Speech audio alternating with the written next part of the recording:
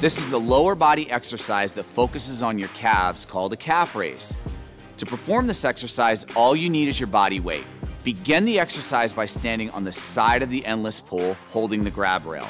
Lift your body coming to the balls of your feet. The top of the range of motion should be when you are standing on your toes. Repeat the sequence several times. For beginners, start with a slow tempo.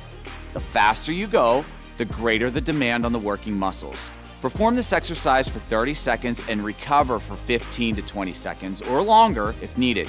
Perform a total of three to four rounds for optimal results.